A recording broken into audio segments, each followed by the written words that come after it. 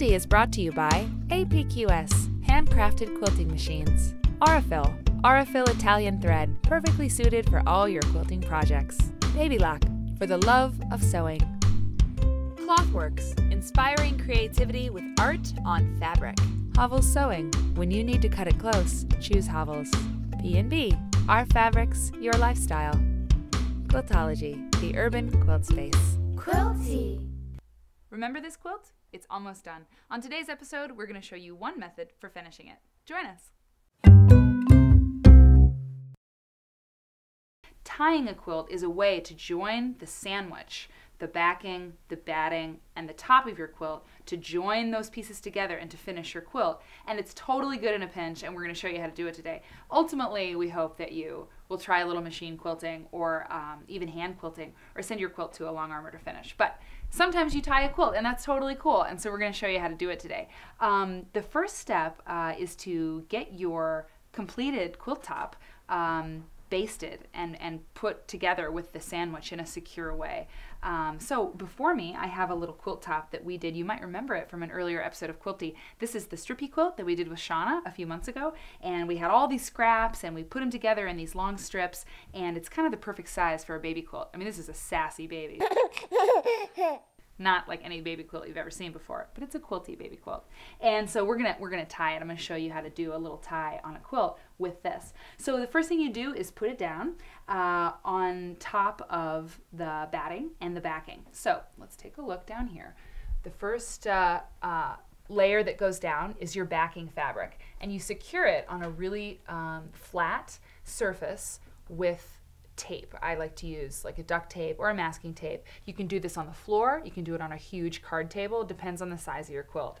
But I've chosen um, to piece the back of this quilt actually. I use some black that was in the quilt somewhere or something that was similar and a piece of black that I had. And I pieced it all together so that it was a little bit bigger, a few inches bigger around than the quilt top itself, okay, on all sides. You tape that down onto your table and I'd secure it like definitely one in each corner, one on the sides. Make sure it's not going to budge anywhere. You don't have to pull it really taut, but just lay it down, make it secure. Then comes your batting. And this is a really nice, soft, natural batting that I used. And that needs to also be cut bigger than on, on all sides than your than your quilt top. Uh, you know, at least an inch and a half, maybe a little bit more, just enough to be able to fold over, to trim and fold over for your binding later. And then your quilt top goes on top, and then you baste it. And we've done this uh, once on Quilty before when we were showing how to prepare uh, a piece of, of quilting for machine quilting and for hand quilting. But um, we're going to do it one more time here as we show you, because this is the same process when you tie a quilt. These are basting pins. When you get all your layers down on your flat surface, you need to secure them with basting pins. That's actually a regular safety pin, but that's a good thing to show you. That's a regular safety pin, and this is a special quilter's basting pin. And we've talked about this before, but that has a bend in it. And the reason why that's awesome is because when you're putting your pin through, just do it right here, when you're putting your pin through, it's got this angle.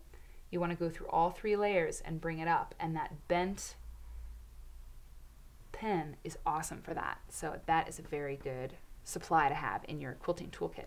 So you put those pins down in your in your quilt top and the rule is it kind of varies but usually if there's about a fist width distance between your pin like in any direction your basting pin like I could probably use one right about there.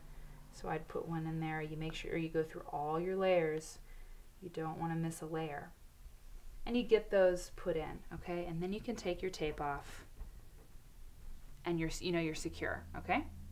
Um, and then to tie your quilt you don't use regular thread don't use quilting thread. So to thread this so this is a um, I found this thread in the clearance bin uh, at the uh, at the craft store. It's like a poly blend. It's variegated. I thought that would be good for uh, for this quilt. It's kind of pinky and cute but it's got that scrappy look to it. So you cut a piece of this thread um, you know a piece that long enough to work with and the needle that you would use to tie this quilt is going to be different from just a regular sm small needle. Obviously, it's thicker thread. You're going to want a better needle. I'm going to lay it down right here. This is a, um, think this is a basting needle. You could use uh, a tapestry needle or a wool applique needle. Anything that's bigger, it's got a little heft to it is going to be a good choice for you.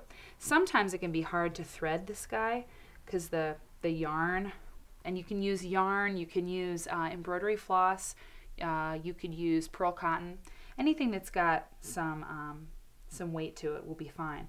But that can be hard to thread through that needle. So a little trick is to take a piece of thread, just regular quilting, like sewing thread that you would put in your sewing machine, and make a loop, okay? Just a little tiny loop. We'll get a close-up of it. And thread that loop through your needle. Okay, I'm gonna do this. Do you want to know something really gross? This is a tip. This is a tip. I'm gonna do it. I'm gonna do it. Grease on your nose. This is some one of the first things I ever learned about quilting. I know, I can't believe I'm doing this on camera. But the fact of the matter is, is that the grease on your nose helps make a point that will get, see, it's, it's gonna work. It's kind of waxy, and quilters have used beeswax in the past to make their thread thicker. See, I got it. um, but that's that's like a tip. I mean, it worked, right? I couldn't get it threaded, and then just use a little bit of you know grease off your nose, and it'll do it. Anyway, so once you have your loop threaded through your needle, just like that, I'm gonna put it down on this this area too. See, I've got this loop through my thread. Then just run your floss or your yeah whatever your yarn that you're using is through that. It's like you're making your own needle threader and then pull the loop through through just like that. Because it's really hard I mean if it's hard enough to get that little piece of thread through this needle it's really hard to get the yarn through. But see? Does that make sense? The little loop thing? Little loop trick? Okay. So once you have your yarn ready to go you're ready to tie so I'm going to go back into this little blue area because it's easy to see. And you're going to go down through all four, all three of your layers, and then come back up, not too far away. You don't want to take a big bite of fabric. This is probably plenty. And you pull through. You have to tug it a little bit, but you have to be gentle because you don't want to be tearing anything. And I'd leave, you know, few inches, and I'd go back down through. You really want this to be secure. I'd come back down once.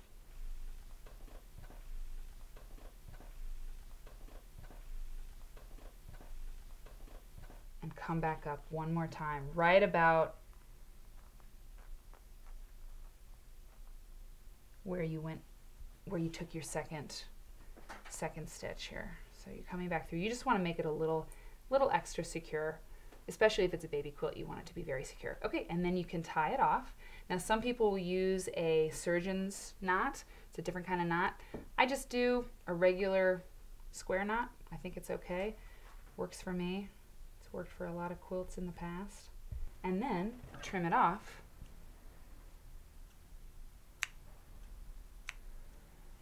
And about every everywhere you have a pin, I would say double that amount of ties. Just make sure you're getting a very secure um, very, very you want to make sure all your layers are securely tied. So that's how you do it. It's pretty self-explanatory, but sometimes it's nice to see that prep work done. And now that you have the nose grease tip, you're uh, set for life. So um, tie a quilt if, if you if you like. It's a, it's a fast way to finish it. For more tips on quilting, if you're a rookie quilter or an experienced one, we've got lots of information for you, and we love sharing it with you. So join us on Facebook and Twitter, and we'll see you next time. Bye. Quilty is brought to you by APQS, handcrafted quilting machines. Aurifil, Aurifil Italian thread, perfectly suited for all your quilting projects. Baby Lock, for the love of sewing. Clothworks, inspiring creativity with art on fabric. Havel's Sewing, when you need to cut it close, choose Havel's. B&B, our fabrics, your lifestyle. Quiltology, the urban quilt space.